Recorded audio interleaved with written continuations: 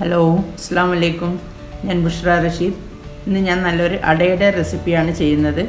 മുല അട. അതായത് എന്റെ നാട്ടിലൊക്കെ കുട്ടികൾക്ക് പല്ല് വന്നു കഴിഞ്ഞാൽ പല്ലട കൊണ്ടുപോകുന്ന സമയത്ത് എല്ലാം അടകളായിരിക്കും കൊണ്ടുപോവുക.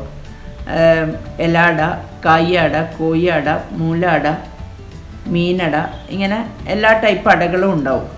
അപ്പം അതിൽ വെക്കുന്ന ഒരു അടയാണ് ഈ മൂലട അപ്പം ഇത് പ്രിപ്പയർ ചെയ്യാൻ ഈസിയാണ് നല്ല ടേസ്റ്റിയുമാണ് എല്ലാവരും ട്രൈ ചെയ്ത് നോക്കണം. അപ്പോൾ നമുക്ക് വേഗം ഇൻഗ്രീഡിയൻസ് എന്താണെന്ന് നോക്കാം അല്ലേ? ഞാനതിന് ഒരു കപ്പ് പൊന്നിയരി ഏഴ് മണിക്കൂറോളം സാദാ വെള്ളത്തിൽ കുതിർത്ത് വെച്ചിട്ട് അരച്ചെടുത്തതാണ്. നല്ല കട്ടിയിൽ വേണം അരച്ചെടുക്കാൻ അല്ലെങ്കിൽ ശർക്കരയൊക്കെ ഒഴിക്കുന്ന സമയത്ത് അതിൽ അത് ലൂസായി പോകും ഒരു ഇരുന്നൂറ്റമ്പത് ഗ്രാം ശർക്കര ഇരുന്നൂറ്റമ്പത് മുന്നൂറ് ഗ്രാമോളം എടുക്കാം. ശർക്കര കപ്പ് വെള്ളം ഒഴിച്ച് ഉരുക്കിയെടുത്തതാണ്. പിന്നെ ഞാനൊരു മുന്നൂറ് ഗ്രാമോളം ചെറുപഴം ഇത് പളയംകോടൻ പഴമാണ്. പാ- പളയംകോടനോ മൈസൂറോ എടുക്കുന്നതായിരിക്കും നല്ലത്. അതാണ് ടേസ്റ്റ് ഉണ്ടാവുക. പിന്നെ ഞാനൊരു അര കപ്പ് കടലപ്പരിപ്പ് കുറച്ച് ഉപ്പിട്ടിട്ട് വേവിച്ച് ഊറ്റിയെടുത്തതാണ്. നമുക്ക് ഈ പഴം ഒന്ന് ആദ്യം ഉടച്ചെടുക്കണം. പഴം തൊലിയോട് കൂടി തന്നെ കയ്യിലിട്ട് ഒന്ന് തിരിച്ചു കഴിഞ്ഞാൽ നല്ലവണ്ണം ഉടഞ്ഞു കിട്ടും. അപ്പോൾ പിന്നെ നമുക്കൊന്ന് ഫോർക്ക് കൊണ്ടോ മറ്റോ ഒന്ന് ഉടച്ചെടുത്താൽ മതി. അങ്ങനെ ഈ പഴമൊക്കെ നമുക്ക് ഉടച്ചെടുക്കണം ആദ്യം.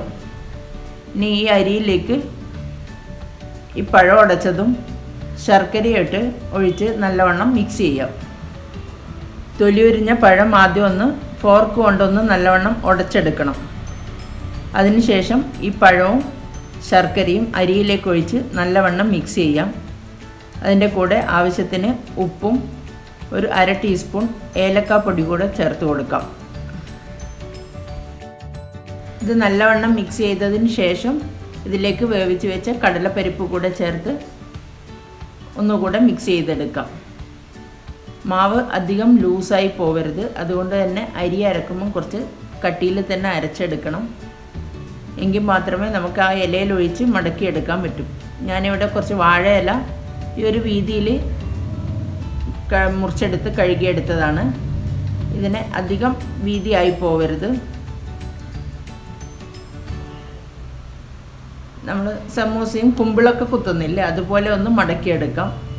എന്നിട്ട് അതിലേക്ക് ഫുള്ളായിട്ട് മാവ് ഒഴിക്കണ്ട പകുതി വരെ ഒഴിച്ചാൽ മതി. എങ്കിലേ അത് നമുക്ക് ഫോൾഡ് ചെയ്തെടുക്കാൻ പറ്റുള്ളൂ. ഇതുപോലെ ഒന്ന് മടക്കിയെടുത്ത് സ്റ്റീം ചെയ്യുന്ന പാത്രത്തിന്റെ ആ തട്ടിലേക്ക് തന്നെ വെച്ച് കൊടുക്കാം. അത് കുത്തനെ വെക്കരുത്. അതിന്റെ ഫോൾഡ് ചെയ്ത ഭാഗം അടി അടിയിലാക്കിയിട്ട് കമിഴ്ത്തി തന്നെ വേണം വെക്കാൻ അപ്പം ഇതുപോലെ നമുക്ക് എല്ലാം ഫില്ല് ചെയ്തിട്ട് എടുക്കാം. ഒരു കാര്യം പറയാൻ വിട്ടു. ഇത് കണ്ടുകൊണ്ടിരിക്കുമ്പം തന്നെ എന്റെ ചാനൽ ആദ്യമായിട്ട് കാണുന്നവരാണെങ്കിൽ സബ്സ്ക്രൈബ് ചെയ്യാത്തവരാണെങ്കിൽ ഒന്ന് സബ്സ്ക്രൈബ് ചെയ്യാൻ മറക്കരുത്. അപ്പോൾ ഇത് നമുക്കിനി സ്റ്റീം ചെയ്യാൻ വേണ്ടി വെക്കാം. സ്റ്റീം ചെയ്യാൻ അടിയിൽ ഒരു ലെയർ വെച്ച് കഴിഞ്ഞാൽ അതൊന്ന് വെച്ച് അതിന് നല്ലോണം ഒന്ന് ആവി വന്ന് കഴിഞ്ഞതിന് ശേഷം മാത്രമേ അതിന്റെ മേലയിൽ പിന്നെയും വെക്കാവൂ. അല്ലെങ്കിൽ വേവ് പാകം കറക്റ്റ് ആവില്ല. അതുകൊണ്ട് ആദ്യത്തെ ആദ്യത്തെ ലെയർ വെച്ച് കഴിഞ്ഞ് അത് നല്ലോണം ഒന്ന് ആവി വന്നതിന് ശേഷം പിന്നെ അതിന്റെ മേലയിൽ വെച്ച് കൊടുക്കാം. അതും ഓരോ ലെയർ വെച്ച് കഴിഞ്ഞാലും ശരിക്കും സ്റ്റീം ആയതിന് ശേഷം വേണം അടുത്ത ലെയർ വെക്കാൻ. എന്നാലേ അത് കറക്റ്റ് വെന്ത് കിട്ടുള്ളൂ. അത് ഏത് അടകൾ വെക്കുമ്പോഴും അതുപോലെ തന്നെ വേണം വെക്കാൻ. അല്ലാതെ ഒരുമിച്ച് പാത്രത്തിൽ അട്ടിക്ക് വെച്ചിട്ട് കൊണ്ടുപോയിട്ട് സ്റ്റീമറിൽ വെക്കരുത്. അന്നേരം വേവ് കറക്റ്റ് ആവില്ല. ഓരോ ലെയറും ശരിക്കൊന്ന് സ്റ്റീം ചെയ്ത് ഒന്ന് ഇതായി കഴിയുമ്പോൾ മാത്രമേ അതിന്റെ മേലയിൽ വെക്കാൻ പാടുള്ളൂ. അപ്പോൾ ഇത് നമുക്ക് സ്റ്റീമറിലേക്ക് മാറ്റാം. അട വെക്കുമ്പം ഇതുപോലെ വേണം വെക്കാൻ. കമിഴ്ത്തി കമിഴ്ത്തി തന്നെ വെക്കണം. സ്റ്റീമറിൽ വെള്ളം തിളക്കാൻ വെച്ചിട്ടുണ്ട്. ഇനി നമുക്ക് ഈ മടക്കി വെച്ചത് ഇതിന്റെ മേലയിൽ എടുത്ത് വെക്കാം. ഇതിന് ആവി വരുന്നതിനനുസരിച്ചിട്ട് ബാക്കിയുള്ളതും മടക്കി വെച്ച് ഇതിന്റെ മേലയിലേക്ക് മാറ്റി കൊടുക്കാം.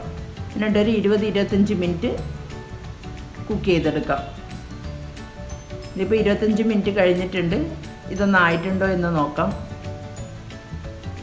ഇതിപ്പം പാകത്തിന് വേവായി റെഡി ആയിട്ടുണ്ട്. ഇനി ഇത് മാറ്റി വെച്ച് ഒന്ന് ചൂടാറി കഴിഞ്ഞതിന് ശേഷം എടുക്കാം. നമ്മുടെ നല്ല ടേസ്റ്റി ആയിട്ടുള്ള മൂലാട ഇവിടെ റെഡി ആയിട്ടുണ്ട്. എല്ലാവർക്കും ഈ വീഡിയോ ഇഷ്ടമായിട്ടുണ്ടാവുമെന്ന് കരുതുന്നു. എല്ലാവരും ട്രൈ ചെയ്ത് നോക്കണം. ഫീഡ്ബാക്ക് അറിയിക്കാൻ മറക്കരുത്. ലൈക്ക് ചെയ്യാനും ഷെയർ ചെയ്യാനും ഒന്നും മറക്കരുത്. ചാനൽ സബ്സ്ക്രൈബ് ചെയ്യാത്തവർ സബ്സ്ക്രൈബ് ചെയ്യാനും മറക്കരുത് കേട്ടോ. ഇനി അടുത്ത വീഡിയോയിൽ കാണാം. താങ്ക്